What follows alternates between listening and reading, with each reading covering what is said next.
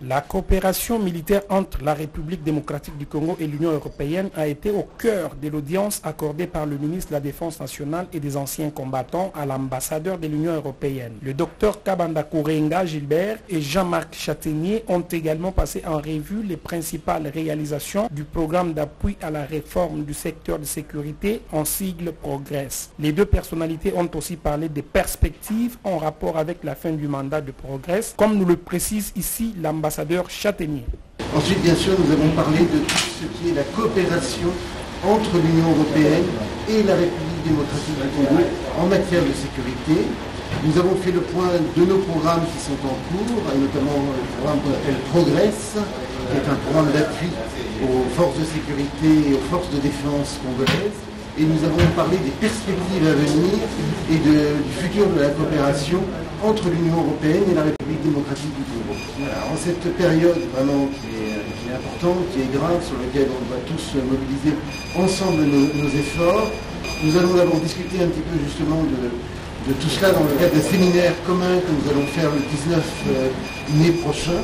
Donc définir un petit peu les, les requêtes du gouvernement du Congo, l'appui que nous pouvons lui apporter, D'ores et déjà, nous apportons des appuis très concrets, par exemple dans la, construction du nouveau ministère de la Défense et des Forces armées.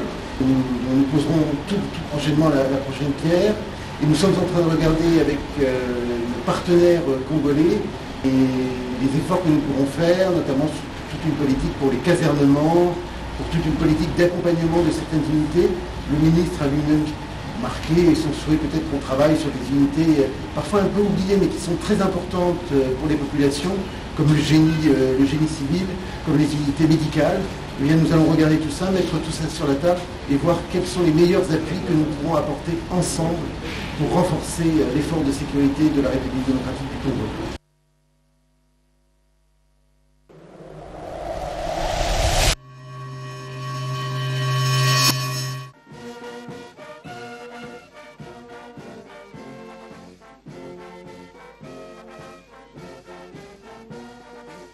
Les nouveaux gouverneurs militaires et vice-gouverneurs policiers du Nord Kivu sont officiellement entrés en fonction ce lundi 10 mai 2021. La cérémonie des remises et reprises a eu lieu au gouvernorat des provinces devant plusieurs témoins, tout a commencé par la lecture des différentes ordonnances portant investiture des uns et nomination des autres, mais aussi celles portant proclamation de l'état des sièges. Après la signature du PV des remises et reprises par les gouverneurs sortants et les gouverneurs militaires entrants, Carline Zanzou-Kassivita a procéder à la remise des symboles du pouvoir et les clés du bureau et du véhicule officiel au lieutenant-général Constant Dima. Le même exercice a été fait par la vice-gouverneure sortante Marie Lumo Okaombo qui a remis les clés à son remplaçant, le commissaire divisionnaire Ekuka Lipopo. Dans son adresse, Carline Zanzuka Sivita a remercié le chef de l'État Félix Tshisekedi pour l'attention particulière qu'il accorde à la situation sécuritaire du Nord Kivu. C'était avant de demander l'implication et l'accompagnement de la population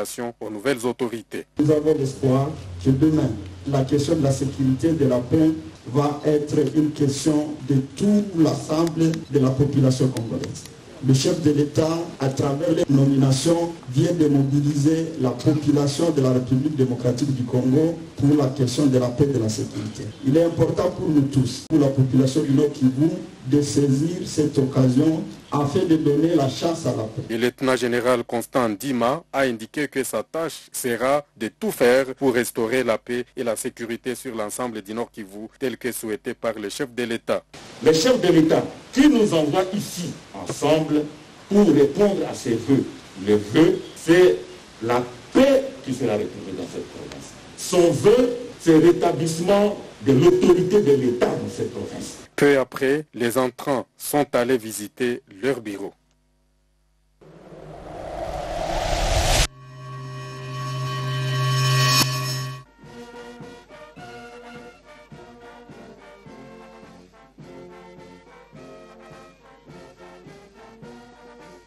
Après avoir tenu plusieurs réunions de commandement avec les commandants des grandes unités de la province de l'Ituri, tant les unités de mise en condition que celles de mise en œuvre, les commandants de la troisième zone de défense, le lieutenant-général Yav Irung Firemon a tâté du doigt l'avancement des opérations sur tous les fronts où il a personnellement été. Il a aussi constaté que les militaires ont suivi sans tergiversation toutes ces directives dans la conduite des opérations dans cette province. Il faut noter que ce dimanche 9 mai 2021, en provenance de la profondeur, que le commandant 3e zone de défense a pris un vol régulier de la compagnie CAA pour Goma où il, il est arrivé à 16h05 local à la tête d'une forte délégation. C'est ce lundi 10 mai 2021 que le commandant de la 3e zone de défense a reçu au pied de l'avion les deux nouveaux gouverneurs militaires, dont celui de la province du Nord Kivu, le lieutenant général Ndima Constant, et celui de l'Ituri, le lieutenant général Luboya Johnny un briefing opérationnel sur la situation sécuritaire et militaire de deux provinces leur a été brossé brillamment par les commandants 3e zone de défense dans la salle du SCAL aérien de l'aéroport international de Goma. Il s'y est de signaler que cette séance a précédé celle de remise et reprise entre l'ancien gouverneur sortant et le nouveau gouverneur militaire entrant du Nord Kivu.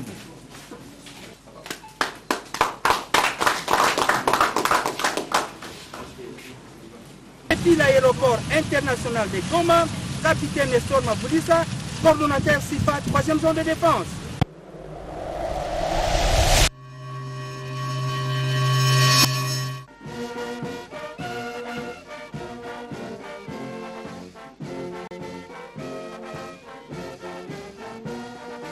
Ce groupe armé préparerait une attaque à l'aéroport de Benimavivi et dans d'autres points stratégiques de la ville. Ces informations sont venues d'un éclaireur de ce groupe armé capturé à l'aéroport par le militaire FARDC. Il a dévoilé ses pères arrêtés dans leur état-major basé au quartier Mukulia de la commune de Bungulu. Huit membres de ce groupe armé dirigé par Kakule David, qui est aussi aux arrêts, ont été présentés avec leur fétiche au Centre pour la coordination des opérations CCO Beni. Lieutenant Doni Maloucha est porté parole des phares décédant les opérations Soukoula 1 explique les circonstances de leur arrestation. Ce groupe Maïmaï Union fait la force. À chaque fois, ils se rencontrent et ils planifient comment déstabiliser la ville de Béni, comment attaquer euh, les points stratégiques de la ville de Béni. Entre autres, s'attaquer à l'aéroport de Mavivi. Et vous êtes sans ignorer que l'aéroport constitue les poumons même de notre ville sur le plan commercial et touristique. Pour aller avoir les renseignements et prendre des dispositions au niveau de l'aéroport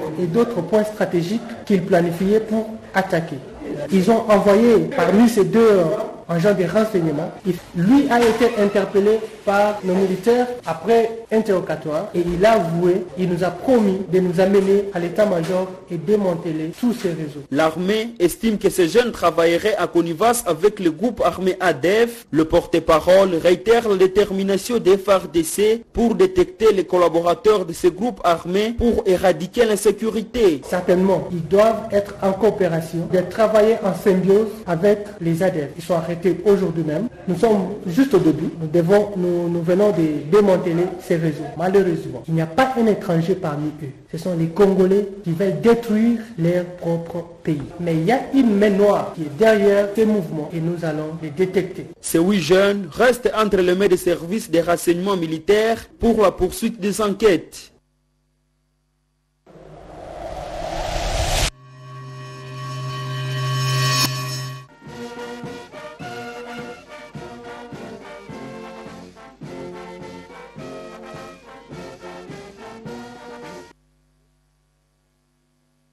En mission de commandement et de contrôle à travers le deuxième et troisième zone de défense, le général Ilongampeko Edmond, chef d'état-major adjoint de la force terrestre chargé des opérations et du renseignement, est arrivé à Kisongani, quartier général de la troisième zone de défense. Son séjour au chef-lieu de la province de la Chopo n'a pas été de tout repos. Après la réunion avec les autorités militaires de la place, le général Ilongampeko a traversé le fleuve Congo pour les centres d'instruction du camp Lokosa, dans la rive gauche. Ici, il a présidé la causerie morale à l'intention des en formation dans ces centres. Major Kawaya Munioma Paul pour les détails.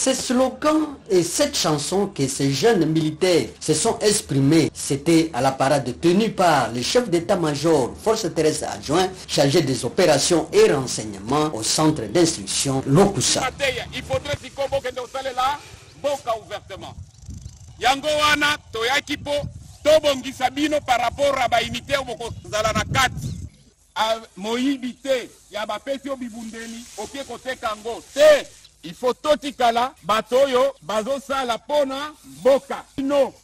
Mboka eyebi bino eyebi moto na moto ndenge boza awa. Nani alingi mboka oyo kongo te? Atombola mosapi na ye. Nani alingi kongo te?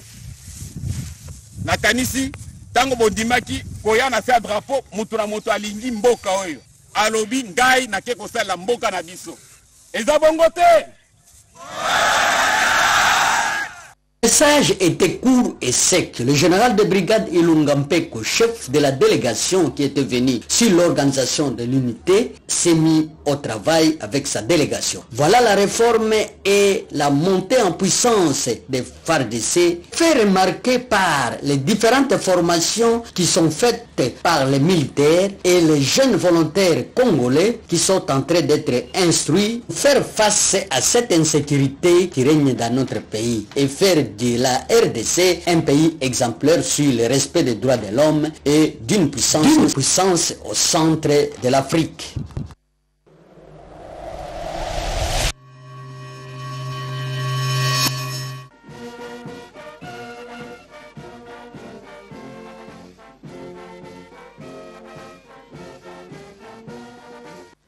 Une réunion élargie des commandements a eu lieu ce 27 avril 2021 à l'état-major de la 32e région militaire dans le centre de coordination des opérations en cycle CCO Ituri, présidé par le commandant 3e zone de défense en mission dans la province de l'Ituri, le lieutenant-général Yav Irung.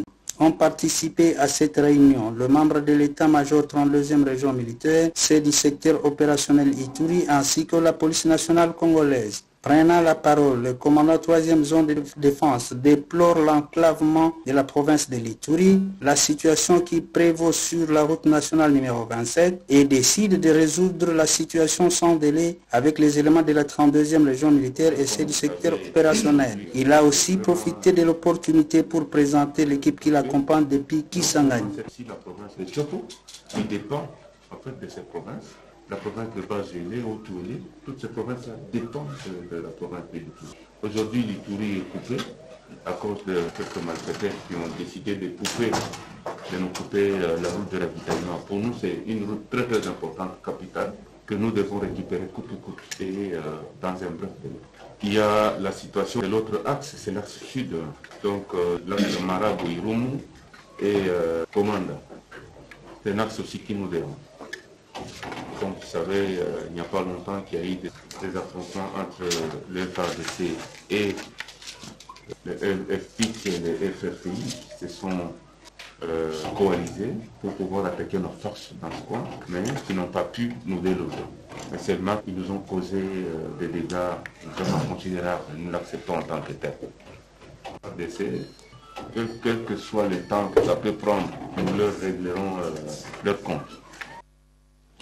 Le commandant de la 32e région militaire, le général-major Loyambi quant à lui, a exposé sur la situation sécuritaire, économique, sociale et la politique de la province de l'Ituri.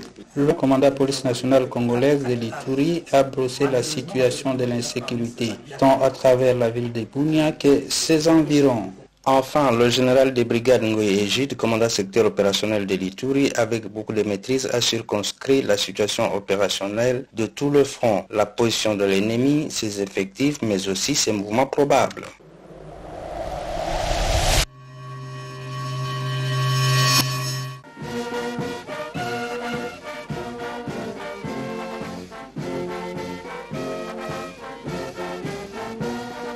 Les forces armées de la République démocratique du Congo ont lancé ce jeudi les opérations militaires contre une coalition de la milice FPIC, FRPI réfracteur et le résiduel de la milice Codeco Bar ALC.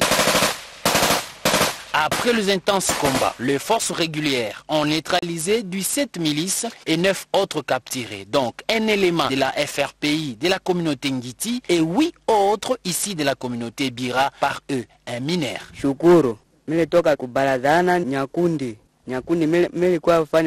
Moi je suis de Nyakunde, je suis de la milice chini Kilima.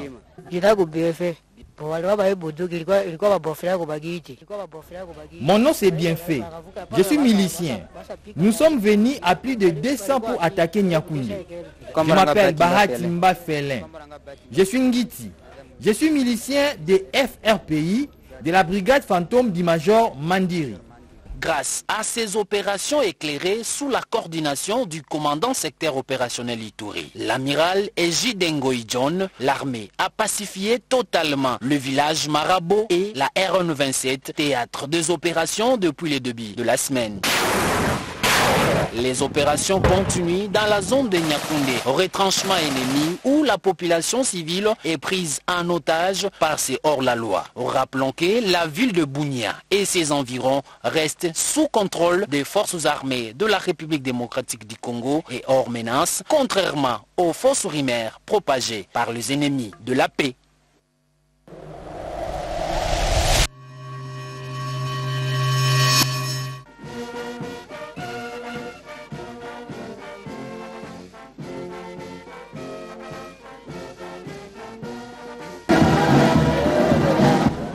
C'est dans cette ambiance de tristesse et d'amertume que se sont déroulés ce mardi 4 avril 2021 les obsèques du lieutenant-colonel Strel Mouyamina Sikissa, commandant du 112e bataillon de réaction rapide, et du major Mbele Van Projet, T3 adjoint du secteur opérationnel d'élite. Ces derniers sont tombés sur les champs d'honneur le 10 avril 2021 dans la localité de Kwandole, territoire de Djougouan Ituri. Après la levée des corps des illustres disparus de la morgue de la clinique quinoise, l'exposition et les hommages officiels ont eu lieu dans l'espace funéraire de la même formation médicale en présence des officiers généraux, supérieurs, subalternes et des troupes, ainsi que de membres des familles éplorées. L'office funéraire a été dit ici par l'aumônier protestant en chef, le révérend major Ndengidila. Juste après, c'était le dépôt des gerbes de fleurs. D'abord par le lieutenant général Jean-Claude Yav Kabey, chef d'état-major général, joint chargé des opérations et du renseignement, représentant les chefs d'état-major général empêchés. Le lieutenant général Sikabou Yassine Dafal, chef d'état-major de la force terrestre, quelques officiers et les membres de la famille ont également déposé leurs gerbes de fleurs. Voici un extrait de l'oraison funèbre, lu ici par le colonel Lilimou. C'est avec tristesse que nous nous réunissons en ces lieux pour plairer et rendre les derniers hommages à nos compagnons d'armes. Nous citons le lieutenant-colonel Mouimina Sikisi Srel, le major du premier d'état-major Mbele Bangou Roger. Encore une fois, la mort a frappé à la porte des forces armées de la République démocratique du Congo à travers la force terrestre. Mais cette fois-ci, elle a subi l'effet boomerang car la cible est tombée honorablement avec armes à la main sur les champs de bataille et dans le respect de son serment, ne jamais trahir le Congo jusqu'au sacrifice suprême de la vie. Nos deux frères d'armes inertes devant nous ont fait la fierté des forces armées de la République démocratique du Congo de n'avoir pas se détourner de leur mission, défendre le territoire national, la population et ses biens. Deux frères d'armes en dépouille devant nous ont tiré les révérences le 11 avril 2021 à Pandola, en Itourie. Srel et Roger n'ont plus la faculté de voir ni de juger le bien et le mal. Donc, ils n'emportaient de leur adresser la parole. Mais, quant à nous, surtout les professionnels avisés des métiers, des arts, se posent des questions de savoir. Comment ont-ils été touchés par l'ennemi? Qui sont les illustres disparus que nous plairons? Un, le lieutenant-colonel Mouimina Sikis Strel, matricule 167, 771, 995, 754 commandant 112e bataillon de réaction rapide. Il est né le 26 mai 1967 à la mission protestante de Kikongo, fils de Mouimina Charles et de Mampoanga Cécile, tous en ville. Originaire du village de Tanto, secteur de Linyungu, territoire de Boulungu, province de Kwilu. Après ses études civiles, il fut animé par l'amour de servir le pays sous les drapeaux. C'est ainsi qu'il fit incorporer le 3 avril 1997 à Kisangani et suivra la formation d'officier cadet à Kamina.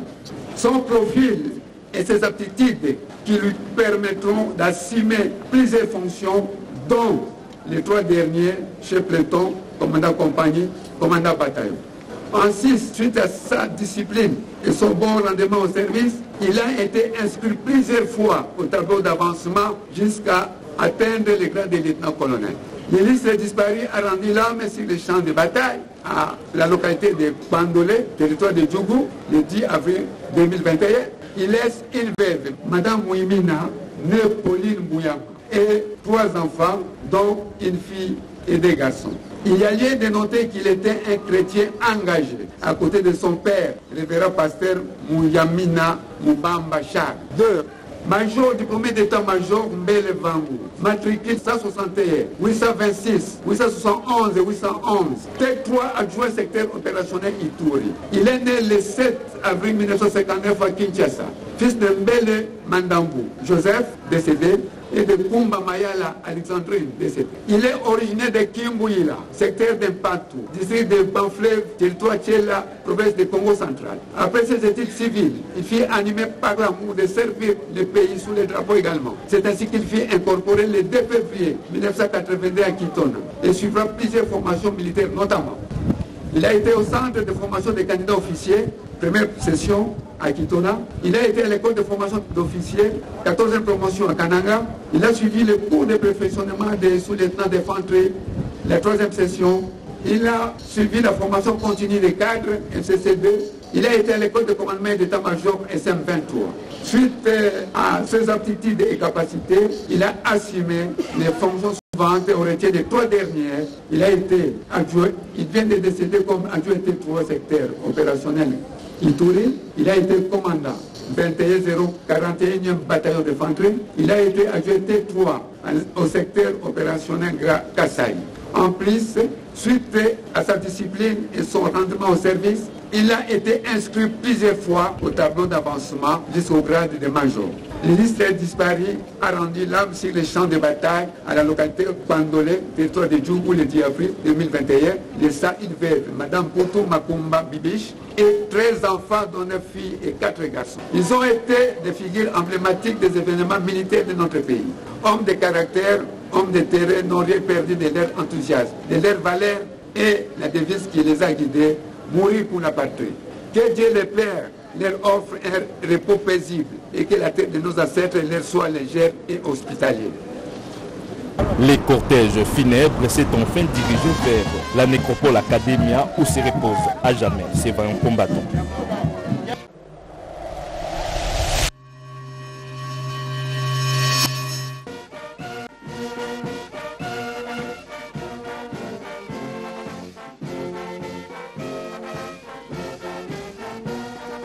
Général-major Massi Bamba Albert, commandant du corps des parcs nationaux et des aires protégées, a effectué du 11 au 21 avril dernier une visite d'inspection et de commandement au parc de Lupemba dans la province du Haut-Katanga. L'appui à la gouvernance du parc, l'amélioration de la cohabitation entre la population riveraine, le service de l'ordre et de sécurité et les autorités politico-administratives ont constitué les objectifs poursuivis par cette mission. Au cours de la parade présidée à l'intention des éco-gardes, le commandant corps de protection des parcs nationaux et des aires protégées les a exhortés à la discipline, au patriotisme et au travail bien fait. Il a profité de cette occasion pour balayer du revers de la main des rumeurs répandues par des inciviques sur l'aliénation du parc de.